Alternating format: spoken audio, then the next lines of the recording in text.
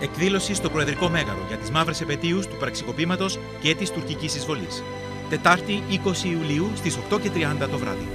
Ομιλία του εξοχωτάτου Προέδρου της Κυπριακής Δημοκρατίας κ. Νίκου Αναστασιάδη. Θα ακολουθήσει σε πρώτη εκτέλεση το ορατόριο του Μάριου Ιωάννου Ηλία Πονεμένες Παναγίες από τη Συμφωνική Ορχήστρα Κύπρου. Συμμετέχουν το Μουσικό Σχολείο Λευκοσίας και η Βυζαντινή Χοροδία της Αρχιεπισκοπής Κύπρου. Η είσοδος στο Προεδρικό Μέγαρο είναι ελεύθερη. Ζωντανή μετάδοση από το ΡΙΚ1 και το πρώτο πρόγραμμα ραδιοφώνου του ΡΙΚ.